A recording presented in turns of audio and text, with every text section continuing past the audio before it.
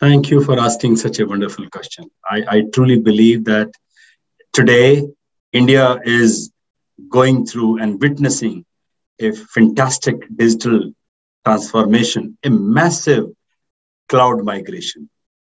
And most of the organizations who are concerned about data sovereignty, they have a challenge that they would want to go for cloud migration, but their data shouldn't be going out of country. And that is where Sophos chips in.